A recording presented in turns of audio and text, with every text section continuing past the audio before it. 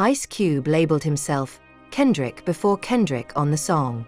Ice Cube has explained the intention behind his lyrics about Kendrick Lamar on his new single, It's My Ego.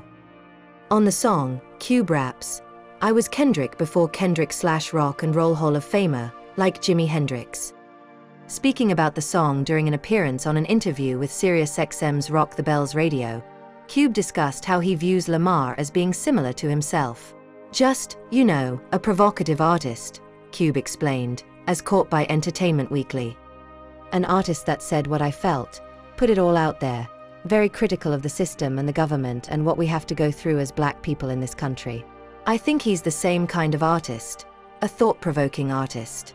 I was that before he was. It's not the first time Cube has praised Lamar this year. Discussing his beef with Drake, he previously expressed his approval of the feud and declared Lamar the winner. I approve of the beef, he said on the Big Pod with Shaq. I always approve of rap battles. That's the essence of the game. As long as it doesn't get physical, cause that's not rap. When it get physical, that's just street crime. He added, I think Kendrick is up. I think he's landed the more hard and effective punches, so to speak. Ice Cube discusses, It's My Ego. Check out Cube's latest comments on Kendrick Lamar below. They come as Lamar continues to prepare for his upcoming headlining set at the Super Bowl 59 halftime show. Be on the lookout for further updates on Ice Cube and Kendrick Lamar.